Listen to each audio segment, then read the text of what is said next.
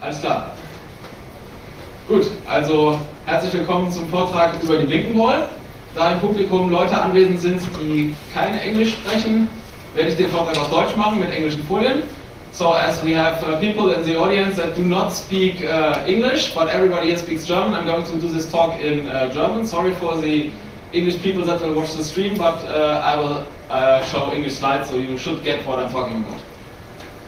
Gut, also mein Name ist Stefan Schimmerns, ich bin Mitglied der Blinken Area und ich erzähle jetzt über die Blinkenwall. Und wie das alles anfing, ist ähm, im Jahre 2005, am 10. Juni, hat der Athlon in eBay eine große LED-Anzeigetafel gesehen mit 20.000 LEDs. Das muss man sich mal auf der Zunge zergehen lassen. 20.000 in 2005, das war also schon ziemlich ordentlich. Und am 12. Juni hat der ST aus der Blink Area das Ding dann ersteigert. Und am 23. Juni ist dann die Wand mit Hilfe des POX in POX Saschas Keller umgezogen. Und dann hatten wir da eine LED-Wand hängen, die von hier bis hier 2 Meter breit ist, 1 Meter hoch, 200 Kilogramm wiegt und äh, 240 mal 96 Pixel hat. Leider tat das Ding erstmal genau nichts. Gut, das lag daran, ähm, 1986 ist in die Wand ein alter Controller eingebaut worden, der zu dieser Zeit natürlich Stand der Technik war. Der basiert auf mehreren Z80-Prozessoren. Und äh, das habe ich leider selber nicht mitbekommen, aber man hat mir das dann erzählt, als wir oder als das Ding eingeschaltet wurde, hat es ein paar Mal das Display ausgeschaltet, kurz nachgedacht, ein Bild, neues Bild angezeigt und aber nicht mehr so hundertprozentig das getan, was es sollte. Also man hat das gesehen, dass es nicht mehr ganz funktionierte und nach ein paar Mal ein- und ausschalten war es dann völlig kaputt. Ja, also der funktioniert nicht mehr. Also am 24. Juni war ich bei Sascha und wir haben gesagt, so, Reverse Engineering los und wir haben probiert dann mal rauszufinden, wie denn diese Wand von innen überhaupt funktioniert und ob wir da vielleicht noch was Sinnvolles mit anfangen können. Das ist eine Rückansicht der Wand und wir sehen hier jede Menge Netzteile. 12 Stück, 150 Watt jedes. Hier haben wir ein paar 230 Volt Leitungen und hier unten haben wir jede Menge 5 Volt Leitungen in Rot. Aus jedem Netzteil kommen drei Stück raus. Das heißt, hier wo der Pfeil endet, das sind wirklich drei Kabel. Und in jedem von diesen Kabeln fließen 10 Ampere. Das kann man sich dann ausrechnen, dass das ganz schön viel Strom ist, was da gebraucht wird, um durch die LEDs durchzufließen. Gut, von vorne ist das Ding natürlich wesentlich interessanter. Wenn man das Lochblech vorne abschraubt, sieht das so aus. Man kann also zwischen den Leuchtdioden durchschauen. Und rangezoomt sieht es dann so aus. Und noch mehr rangezoomt und ein bisschen gedreht, sieht man dann einzelne Platinen, die jeweils 48 LEDs haben. Das heißt, die gehen hier von oben bis zur Mitte und dann von der Mitte bis unten. Neben diesen LED-Boards hat man unten die sogenannten unteren Platinen, wie wir sie einfach genannt haben. Und hier in dem anderen Bild sieht man noch, auch in der Mitte sind noch solche Platinen und oben sind auch Platinen drin. Und darauf stecken dann diese LED-Streifen. Gut, dann gehen wir jetzt mal Stück für Stück diese ganzen Platinen durch. So sieht eine LED-Platine aus. Wir haben hier zwei Hauptstecker. Die eine steckt auf der oberen, der andere auf, dem, auf der mittleren Platine. Für die LED-Streifen, die oben hängen und für die LED-Streifen, die die untere Hälfte bilden, sind die halt eben an der Mitte und unten angeschlossen. Weiter haben wir natürlich 48 LEDs auf so einer Platine und diese sechs Chips. Das sind hier Low Power Schottky TTL-ICs, also das, was wo 1986 das Brot und Butter IC war, äh, die Brot und Butter IC-Serie war. Und das sind Schieberegister. Da der ST in seinem Vortrag ja schon darauf hingewiesen hat, wie Schieberegister funktionieren und dass das für hier den Vortrag wichtig ist, muss ich leider sagen, das sind andere Schieberegister. Die schieben zwar auch Bits rein, aber die haben nicht diese schöne Funktion, dass man die Bits still da reinschieben kann und dann auf einen Knall die Bits den Ausgang übernimmt, sondern der Ausgang übernimmt immer. Das heißt, man sieht an den Ausgängen, die Bits da reinwandern und wieder rauswandern. Das ist natürlich schlecht, denn während man das Bild ändert, wollen wir ja nicht, dass es angezeigt wird, weil dann würde man dazwischen ja irgendwelchen grünen Kram auf dem Display sehen, der kein Bild ergibt. Das wird gleich noch wichtig. So, zusätzlich haben wir hier einen Transistor drauf und der ist genau aus diesem Grund da drauf. Denn wenn man diesen Transistor hier abschaltet, gehen alle LEDs auf dem Board aus. Dann kann man schieben und wieder einschalten. Gut, das ist das LED-Board. So sieht das als Schaltplan aus.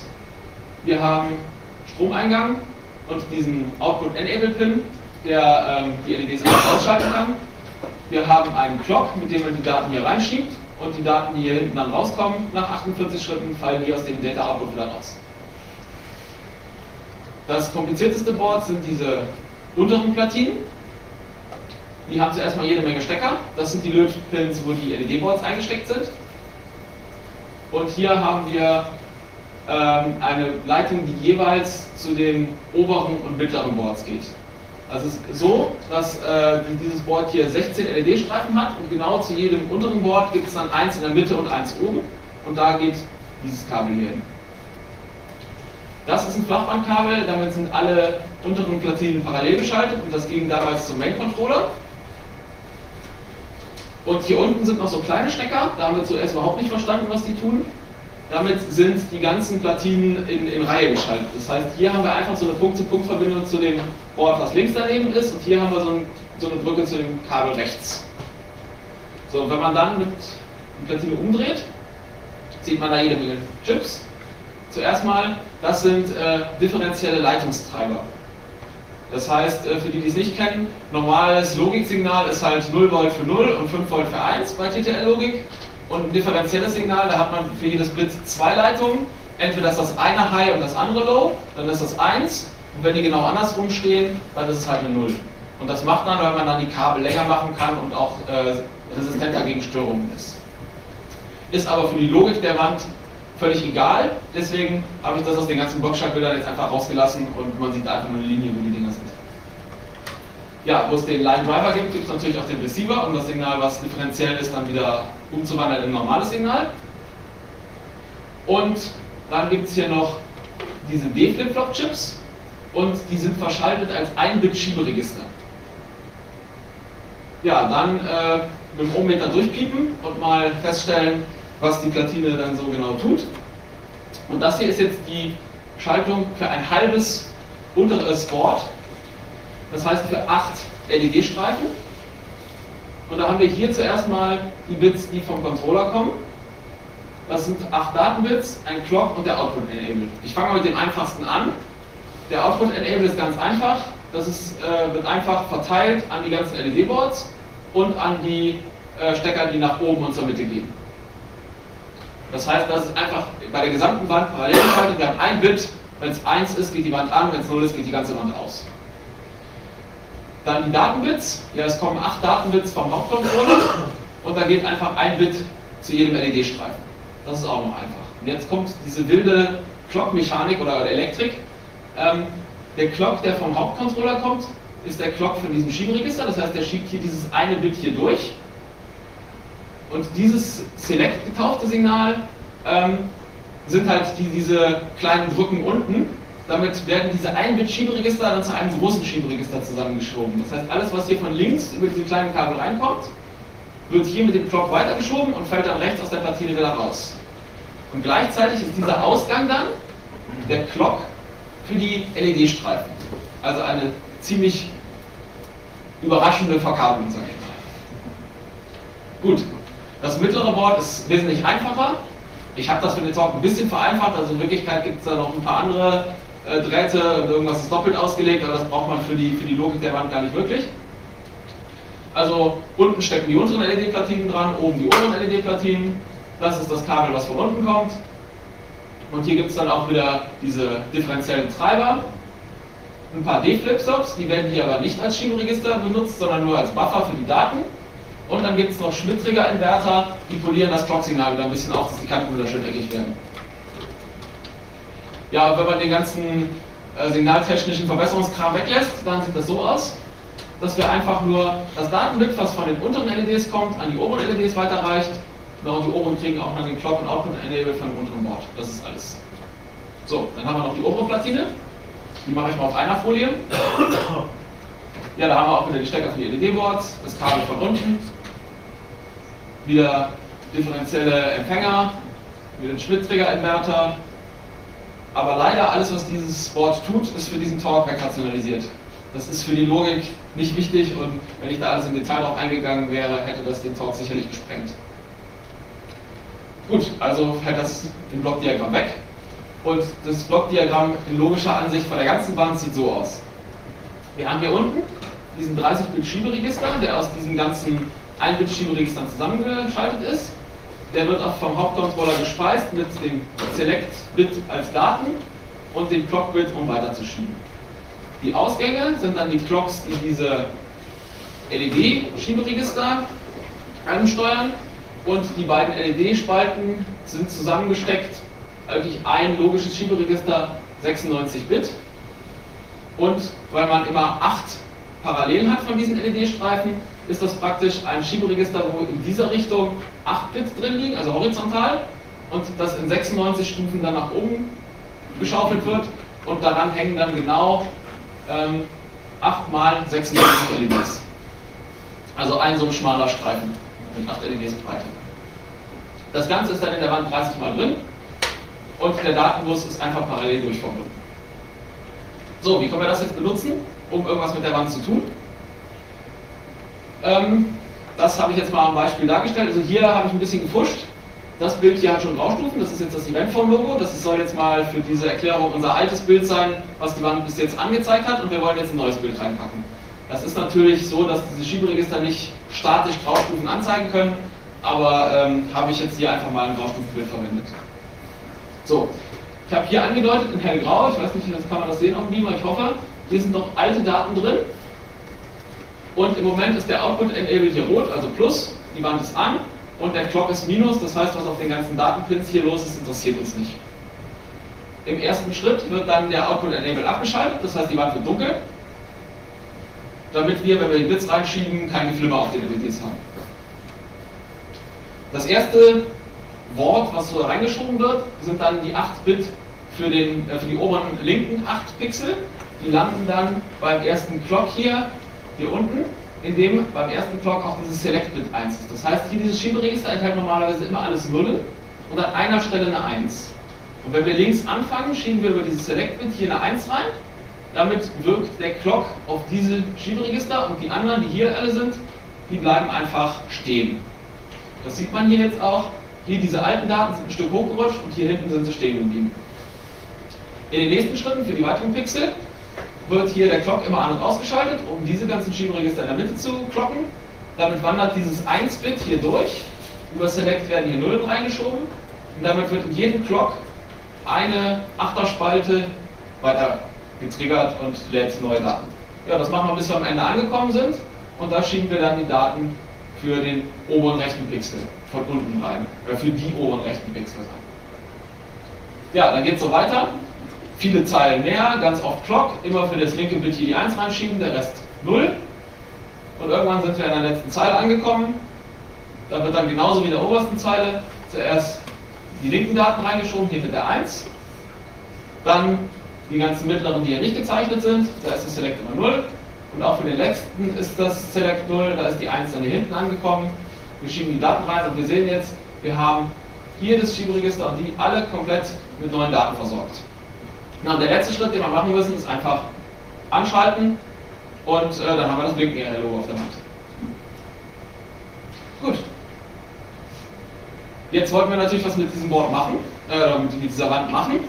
Und wir hatten diesen differenziellen Leitungstreiber. Das heißt, alle Inputs, die wir an der Wand hatten, hatten diese schönen differenziellen Inputs mit diesen AM26 LS31 Chips.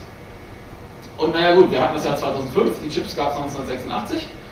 Äh, ja, und dann haben wir unser 24 Juli gehabt, wir schon am Samstag, die Elektronikläden in St. Augustin mal auf. Oder war es Siegburg, ich weiß es gar nicht mehr. St. Augustin, gut. Da sind wir einfach in den Laden reingegangen und haben es einfach mal probiert. Und dann sagte der Mann, oh ja, ich habe da einen Vergleichstyp, der heißt nicht AM vorne, sondern DS. Aber wir waren damit in der Lage, diese Blockbusterplatte als Prototyp aufzubauen, die übrigens immer in der Wand noch so drin ist. Also drei Treiber, hier ein paar DIP-Schalter zum Rumspielen, wo wir die normalen 0 Inputs haben und hier hinten nur die Rückenkabel kommen dann die differenziellen Signale raus. Ja, das hat natürlich beim Reverse Engineering ein bisschen geholfen, aber man will die Bits ja nicht von Hand immer klicken. Deswegen haben wir dann spontan einen Mikrocontroller gesucht, wo wir irgendwie bequem Daten mit an die Wand ausgeben können. Und 2005 hatte ich gerade zusammen mit dem Chaos Computer Club Aachen ähm, das sogenannte 8-Bit am Ethernet entwickelt.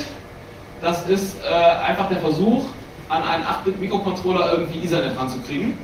Und das Ding besteht aus einem Mega 128, das ist hier der kleinere Chip. Das ist einfach ein 16 MHz Mikrocontroller mit 128 Kilobyte RAM-Speicher und 4 Kilobyte statischem RAM. Und als Ethernet-Controller habe ich den NE2000-kompatiblen RTL 1819 verwendet, also das, was normalerweise auf diesen alten Ethernet-Netzwerkkarten drauf hatte. Und dann hat das Ding hier noch ein paar IO-Ports, das ist da, wo die Kabel dran sind. Ja, das haben wir dann so zusammengesteckt. Das heißt, wir haben oben das LED-Display mit Clock Select Daten Output Enable, dann die Lochrasterplatte mit den differenziellen Treibern und unten dann das 8-Bit Ethernet. Das hat eine 10 Megabit Verbindung zu einem PC oder einem Mac. Und darauf haben wir dann, weil es verfügbar war, einfach mal den M-Player mit Blinklights Output verwendet. Der sendet halt seit Blinklights Arcade dieses MCUF-Format raus.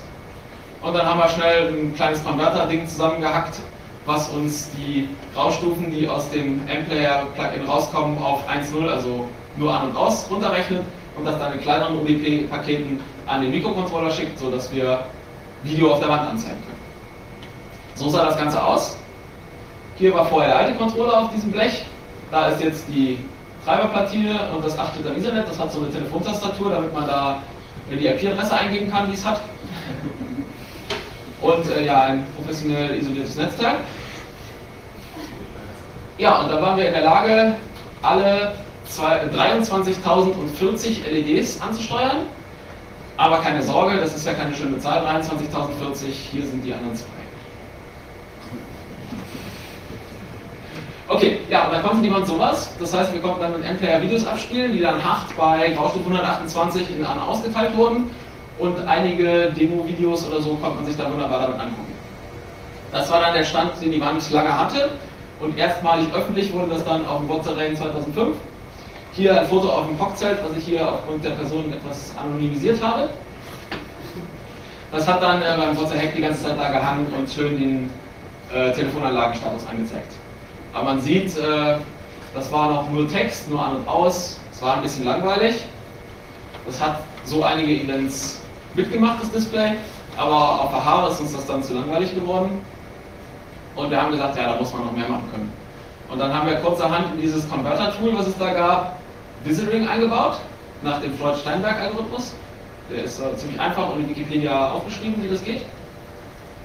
Ja, was ist das? Also wenn wir diesen Farbübergang oder Rückstufenübergang anzeigen wollen, das können wir nicht, dann macht die Wand bis jetzt das, also alles was zu dunkel ist, wird ausgemacht, alles was zu was hell genug ist, geht an. Und Dithering macht dann halt das. Das heißt, er versucht durch Aufrasterung und Verteilen der Fehler dann halt hier so ein, so ein Punktrastermuster zu machen und es sieht dann wesentlich besser aus. Das hat allerdings bei Videos einen ganz entscheidenden Nachteil, weil er das für jedes Bild einzeln berechnet, flimmert das Ding unheimlich, weil er jedes Mal diese, diese Punkte hier, also wenn sich hier oben eine Graustufe ändert und hier ein Punkt angeht, dann verrutschen alle anderen einen nach rechts oder einen nach links. Und das ist eine ganz schöne Flimmerei. Naja, also wir brauchen Graustufen. Das ist dann was, äh, was man üblicherweise bei so digitalen Schaltungen mit Kurzbreitenmodulation macht. Und damit man das sehen kann oder sich angucken kann und nicht, nicht sieht, wie es an- und ausgeschaltet wird, muss man das schnell genug machen. Mit, sagen wir mal, mindestens 80 Hertz. Das funktioniert dann so, wenn wir unseren Farbübergang anzeigen wollen, zeigen wir zuerst das Bild hier an, für eine kurze Zeit, dann dieses Bild für etwas länger, das Bild noch etwas länger, dann fangen wir vorne wieder an. Und was man dann sieht, ist das hier. Hier vorne ist es nie an, deshalb ist es dunkel. Hier ist nur im ersten Bild an und hier hinten ist es in allen drei Bildern an, deshalb ist es am hellsten. So, jetzt warum wird das hier länger? Warum muss die Zeit länger werden? Das liegt einfach daran, dass das menschliche Auge nicht linear guckt, sondern die Helligkeitsunterschiede, die man wahrnehmen kann, hängen von der Helligkeit ab. Das heißt, wenn es dunkel ist, sehe ich noch ganz kleine Helligkeitsunterschiede. Wenn es hell ist, dann muss es äh, einen großen Helligkeitsunterschied geben, damit äh, man den Unterschied noch wahrnimmt.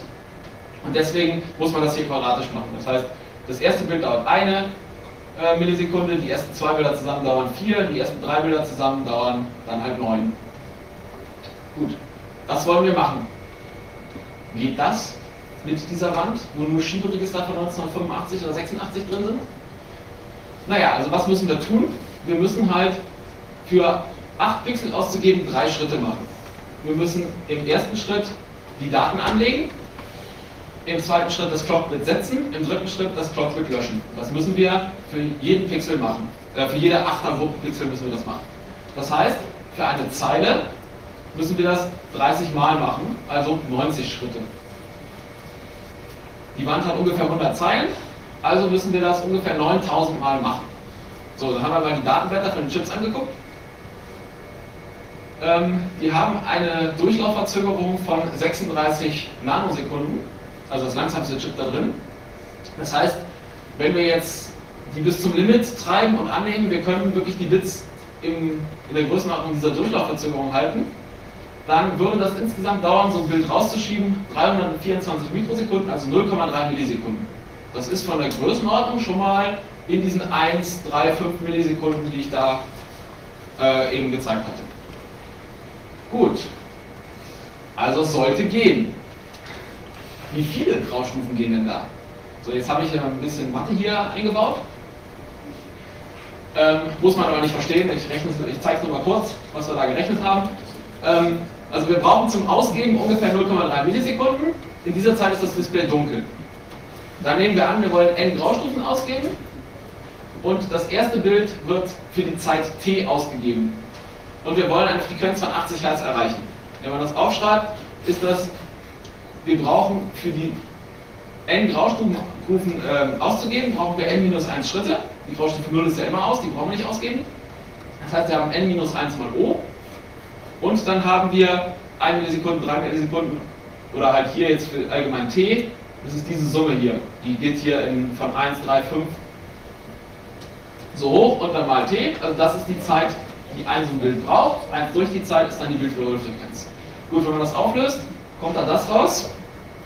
Ist nicht wichtig, ich habe es ausgerechnet, für die für Computer sinnvollen Anzahlen Graustufen. Wenn wir zwei Graustufen haben, also schwarz und weiß, dann haben wir 12 Millisekunden, wo das Bild da steht. Das passt. Wenn wir vier Graustufen haben, hätten wir 1,3 Millisekunden, wo das Bild stehen bleibt.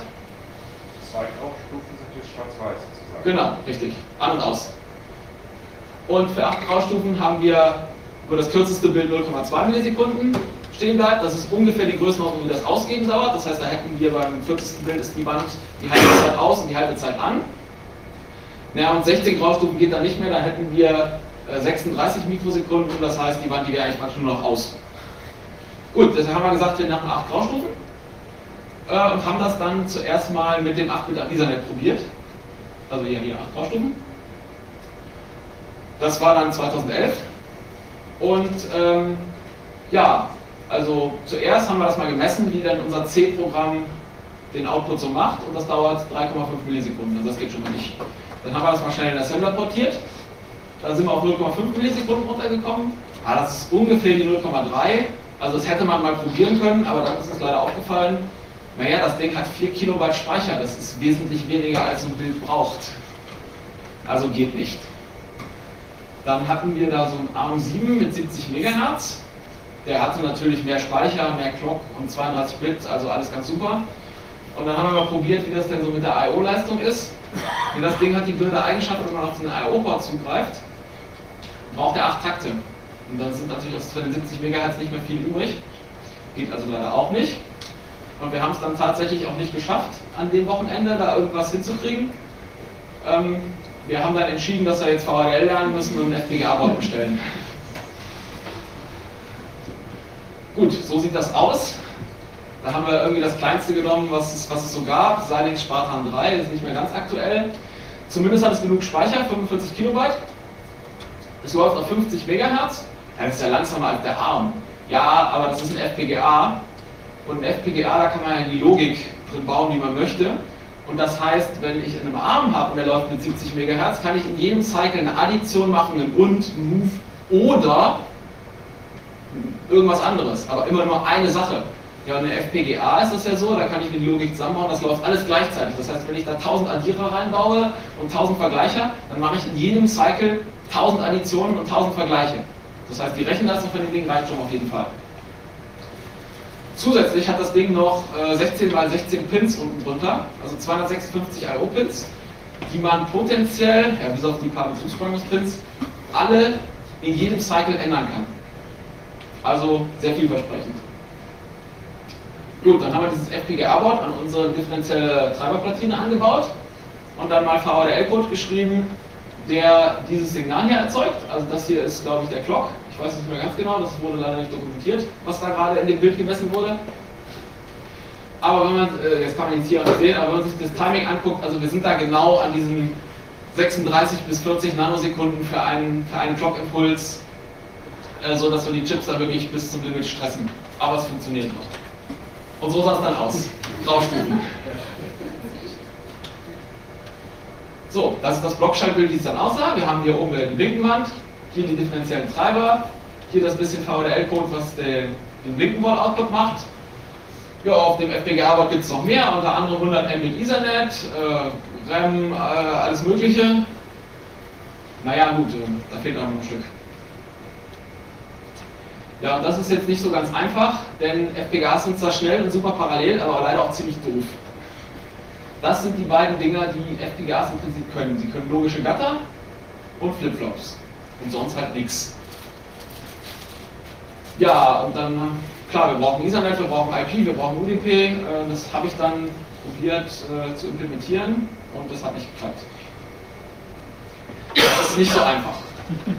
Ja, das habe ich dann weiter probiert. Äh, von Juni war es, glaube ich, bis zum Camp 2011. Und 2011 war aber der Zustand immer noch, dieses statische Testbild ging noch. Wir hatten mittlerweile noch ein anderes statisches Testbild, was ein bisschen besser aussah. Ja, und dann ging noch die alte Schaltung mit dem Video, aber Graustufen leider noch nicht. Und dann habe ich auf dem Camp entschieden, naja, wenn das FPGA halt so dumm ist, halt in den sauren Apfel beißen und auf dem FPGA jetzt einen Prozessor bauen. Gut. Und da habe ich mir den MIPS 1 Prozessor ausgesucht. Warum MIPS 1 und nicht ARM oder ich hätte auch den AVR nachbauen können? Naja, ähm, MIPS 1 hat einen ganz entscheidenden Vorteil. Der ist sehr, sehr einfach. Also der hat keine groben Status-Stack, der hat irgendwie 35 Instruktionen. Äh, ist viel, viel einfacher als ein ARM und auch einfacher als so ein 8-Bit AVR, weil der AVR so viele Status-Bits hat, die sich gegenseitig triggern. Habe ich auch probiert, wenn man das ins FPGA einbaut, das wird einfach zu langsam. Der läuft dann nicht mehr mit 50 MHz. Ja, und das Ding hat GCC-Support, das ist sehr schön, da kann man jetzt einen Kram C schreiben. Und ist nicht 8-Bit, sondern 32-Bit, also ein bisschen Power ist dann auch dabei. Gut, so sieht das MIPS 1-System aus. Ich würde sagen, so in Summe steckt da bestimmt äh, ein bis zwei Mann-Monate drin, jede Menge Zeilen VHDL. Also, das ist der Blinkenwall-Treiber, der hat zwei Flamebuffer bekommen, damit man den einen befüllen kann, während der andere ausgegeben wird und dann halt umswitchen. Ähm, ja, hier ist äh, Code SRAM, wo dann halt die, der IP-Stack und der Blinkenwall-Treiber drin liegt. Das ist hauptsächlich äh, das große Stück VHDL, das ist der Prozessor-Core. Und hier ist noch äh, VHDL-Code für Ethernet Mac. Der Ethernet Phi ist dann auf dem Board im Hardware drauf. Alles okay. Gut. Sind das jetzt auch 100 Mbit Das ist jetzt auch 100 Mbit. Der 3 Bit tief auch. Der ist 3 Bit, sonst hätte das vorne hinten nicht gereicht, ja. Auch das Protokoll, was dann nachher reinkommt, ist 3 Bit. Ja, so sieht das dann eine Ebene höher aus. Das heißt, wir haben das ganz alte, das Bild von der vorherigen Folie jetzt hier unten in diesem FPGA-Board drin. Das sieht aus wie vorher. Und hier haben wir jetzt 100 äh, Mbit und UDP und wir verwenden auch nicht mehr den, den Blinkenlights-Output, sondern wir haben jetzt äh, gesagt, na, dann schreiben wir auch ein eigenes, äh, eigenes VU-Plugin für den M-Player. Das heißt, wir haben nicht mehr VUBL, sondern jetzt VUBW für die Blinkenbowl. Ja, so sieht das dann aus, wenn man Video abspielt. Ich denke, das werden wahrscheinlich auch alle unten hängen gesehen haben. Deshalb habe ich jetzt hier auch mal kein Video in den Vortrag reingesteckt. Äh, ja. Und dann ist es natürlich jetzt hier auf jeder Veranstaltung noch ein bisschen weitergegangen. Da habe ich jetzt keine Folie mehr zu machen können. Das ist nämlich jetzt irgendwie zwei Stunden alt, das Feature. Eben äh, haben wir vor Saschas weggesessen und uns ein bisschen rumgespielt. Und der hat ja immer diesen Quarz-Composer, womit man alles ganz toll Grafikeffekte machen kann und so. Naja, und seit zwei Stunden gibt es jetzt auch ein Quarz-Output-Plugin für die Wand. Das heißt, man kann jetzt alles, was so videotechnisch geht, kann man jetzt machen. Wenn man mit 240 Pixel in der Breite auskommt. Gut, das war's. Dann möchte ich jetzt noch Danke sagen. Erstmal an die Firma Lumino aus Krefeld, die 1985 dieses Ding gebaut hat bis 1986. Ähm, dann an Athlon, der das Ding in eBay gefunden hat und diese tollen Präsentationsfolienvorlage gebaut hat. Danke an ST, der das Ding spontan bei eBay für eine wahnsinnige Summe ersteigert hat. Vielen Dank an Sascha und äh, teilweise auch der Rest von POC. Die waren, glaube ich, alle beteiligt, das Ding dann abzuholen, wo es stand. Äh, das ein bisschen zu servicen, neue Lüfter, neue Netzteile und das immer zu den Events mitzuschleppen. Das ist ja bei den 200 Kilo Brocken nicht ganz so einfach. Ja, dann danke an die SIGINT für Akzeptieren vom Vortrag und danke an die Zuhörer fürs Zuhören.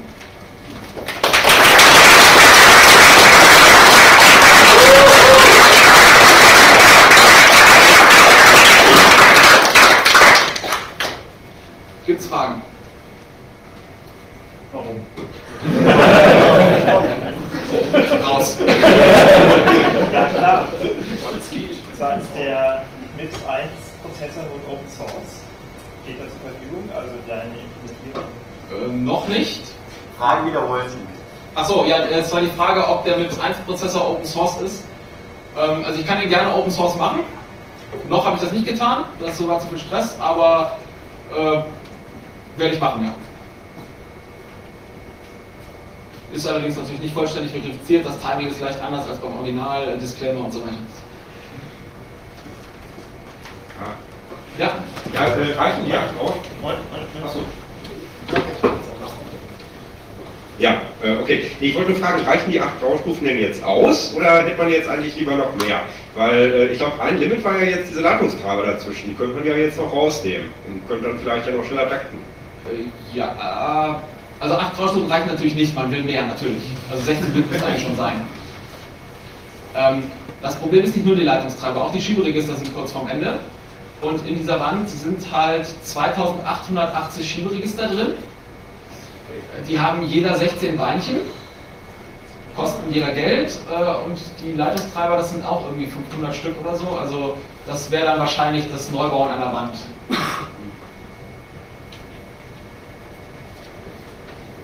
Hast du schon mal daran gedacht, das sind ja 30 so Streifenmodule, die 30 parallel separat anzusteuern?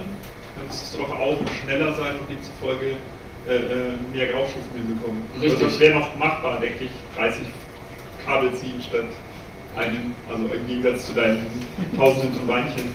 Ja, ähm, dran gedacht sicherlich. Äh, die Idee war da in der Richtung eher dann nicht die ganzen Kabel rauszuverlängern, sondern irgendwie so eine Lochrasterplatine daneben zu bauen mit den neuen Treibern. Also ich glaube, die Idee wäre dann eher eine Platine zu bauen, wo die Pins an der richtigen Stelle sind wo dann auch Intelligenz drauf ist, damit man das dann auch schön aufteilen kann. Das ist sicherlich machbar, aber sicherlich auch ein bisschen gefährlich und vielleicht geht es nachher gar nicht mehr.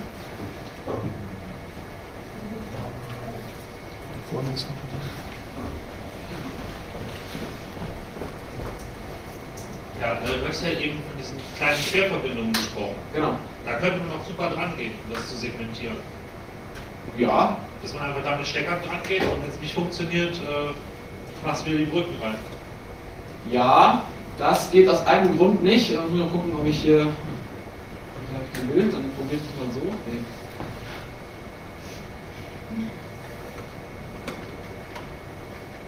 Wenn man sich dieses Blockschallbild hier anguckt, das ist dann ähm, könnte man durch diese Querstecker, das sind ja praktisch die Schnitte in diesem Schieberegister, hier die Bits einspeisen, aber man hätte immer noch diesen durchverbundenen Datenbus. Das heißt, man könnte dann zwar hier die alle unabhängig voneinander kloppen, aber hätte immer noch an allen diesen Achterspalten die gleichen Daten zu einer Zeit. Ja, aber die, die Datenfrequenz, die äh, ist der FPGA ja viel, viel schneller das liegt die Daten clockst du den ersten, änderst den zweiten, dritten. Ja, aber der FPGA kann das. Genau. Die Schieberegister hier nicht. Wenn, wenn die Daten da jetzt nur für ein Hundertstel Cycle stehen würden, das, das geht nicht. Also man müsste da wahrscheinlich schon den Ansatz von SEC machen und da unten hier alle, also den ganzen Teil hier abschneiden und hier direkt daran adaptieren. Das ist aber, glaube ich, ein größeres Projekt. Ja, mal schauen. Ähm, also wie viel Speicher hat das denn jetzt? Was denn genau? Also die Wand da. Die Wand. Ja. Ja, die Wand hat im Prinzip den Speicher nur in den Schieberegistern. Das heißt, wir haben hier 96 mal 8 Bit mal 30 und plus 30 Bit hier unten. Hier unten der Speicher, wenn wir den mal weglassen, das ist ja nicht viel, dann haben wir 23.040 Bit. Okay, ich glaube, das reicht, okay? Das reicht für ein Bild. Also das ist ungefähr äh, ein Staubkorn auf so einem modernen USB-Stick. Äh,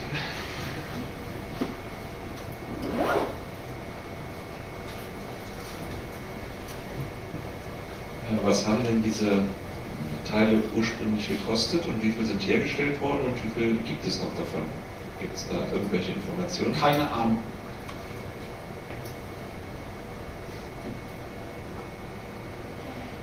Hast du noch eine Frage? Gibt es die Firma noch, die das Ding hergestellt hat? Ja, die Firma gibt es noch. Die hat zum Beispiel in Berlin letztens oder letztens vor ein paar Jahren die ganzen Busanzeigen gebaut. Ah, hast du die mal gefragt? Irgendwie zu dem Projekt, hast du das bekommen und mich unterstützt oder hast du das eher so nicht auslachen? Ja, nee, gefragt haben wir nicht. Die haben uns mal kontaktiert, aber was veröffentlicht haben, was ihnen nicht gefallen hat im LinkedIn-Wiki. Aber ich, Pläne haben sie, also die haben gesagt, sie könnten da mal Pläne raussuchen, aber da waren wir schon mit dem Reverse Engineering durch. Ähm, das ist geheim. Achso, äh, ich kann die Frage wiederholen, was wir denn da geschrieben hätten und ähm, also das hat der Firma nicht gefallen, das werde ich jetzt selbstverständlich hier nicht wiederholen, ich erzähle es dir später. Ich erzähle es dir auch später.